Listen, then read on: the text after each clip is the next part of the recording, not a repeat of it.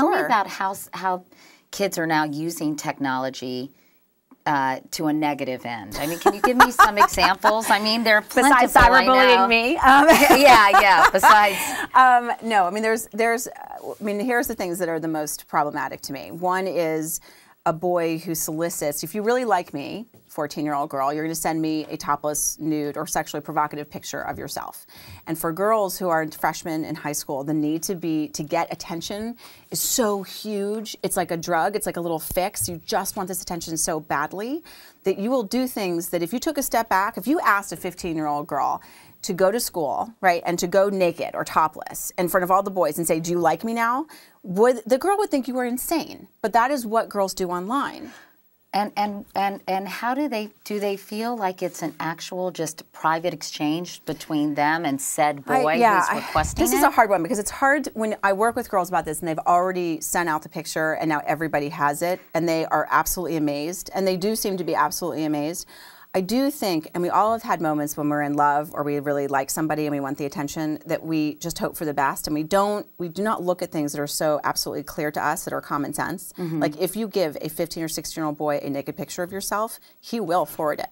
So you think in the moment because he says, no, if you really like me, you'll send me the picture. and I won't show anyone. I I'm not going to show anybody. And so you do because you really want to believe that it's going to work out. But geez, how dumb, naive, and I know, but that's ridiculous But that, is but what I but when you're a teenager, all of the really dumb decisions that we made as teenagers, that's the problem. Is it gets amplified and it just gets out of control. You know, the, the, the whole sexting thing, um, the National Campaign to Prevent Teen and Unwanted Pregnancies uh, and Cosmo Girl teamed up for a Right. survey.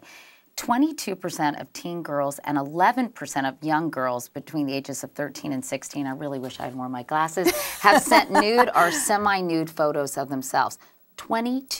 that's and low, 71% of teen girls have sent or posted suggestive messages, Oh, which is no sure. surprise. For sure. For sure. Now there are moments. This is like the world. You're coming into my like into my world of how crazy this. Is. I don't know if. I really want to right, be if you in want that to. world, but- this is a but okay. So here's sort of a positive, which is that in a, a sexting situation I was working with with a group of kids in a school, um, a boy asked. This is an older girl. Um, what was her favorite things to do sexually, and she bit basically, and she started describing, but by words, what she liked.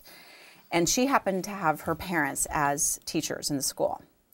And he got it. He got the transcript. He got the email or whatever it was. I, can't, I think it was an IM. And he sent it around to everybody. And somebody thought it would be funny to print it out. And you know how faculty has like boxes where you put their stuff? So somebody thought it would be funny to print it out and put it in, In the parent, in, parents'. in her parents' um, box. Now another boy, a junior boy, who really liked that faculty, saw what was happening and he told me, like during the morning, he saw that piece of paper in the faculty box and he just couldn't live with it and he went and got it out.